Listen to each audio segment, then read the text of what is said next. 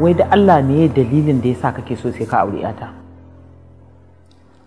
ke ma ko zan iya sanin dalilin da yasa ba ke son aure ta? Saboda na san ka na san kowaye kai shi yasa ba na so ka aure ta. Kamar yadda na san kike na ciki da bai ko kuwa? Zan miki tono tono da ki taba tunani ba yake sai ta san komai game da gaskiya ni ina son aure namiji mai daraja irin tawa shi ba dan gidan ba ne. To amma saboda Allah me yasa tuntuni baki gaya mu wannan labarin ba? Haka ya miki ni ma haka na gani don Allah ka yi haƙuri ka kwana ana. kin ke mata aure ce? Aure ba abin wasa ba ne. Yanzu ma wallahi sai da Allah.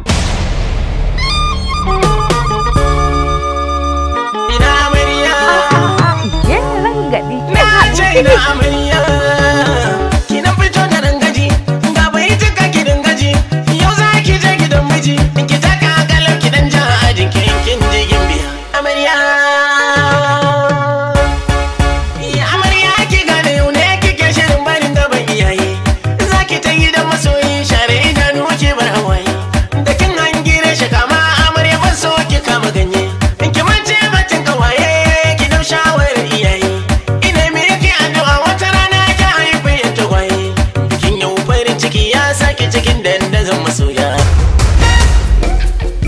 ba ni wai ki mana ni snapchat. In wata da ganka ta ce tana son ka? Saboda me?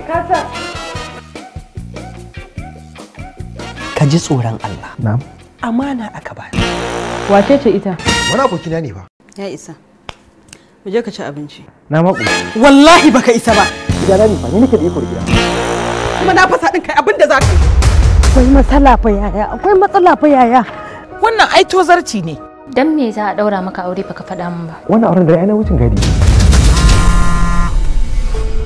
Ke dallacin saurara tsohuwar munafuka kwartaye masu neman mazan mutane. Oke matar ta ce to take miki magana. Allah bani me haka?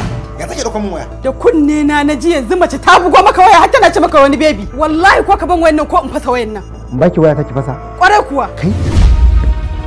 Shi kuma zama aure idan babu girmamawa to ba shi da wani amfani. Yanzu har zaki zarge ni a shi? Kai kake abubuwan da zai sa in zarge ka. Kin ga tsaya tsaya in miki bayani. Me za ka ga mu Amina ki haƙuri me dalilin ki na sace shi? Wallahi ba ni na sace shi ba. wannan magana ba ta fishe ki ba. Wai ina zaka je cikin daren nan ne?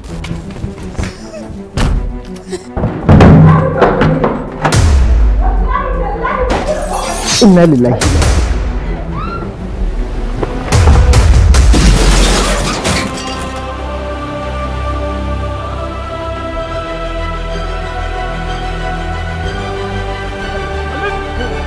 对呀，对以了，可。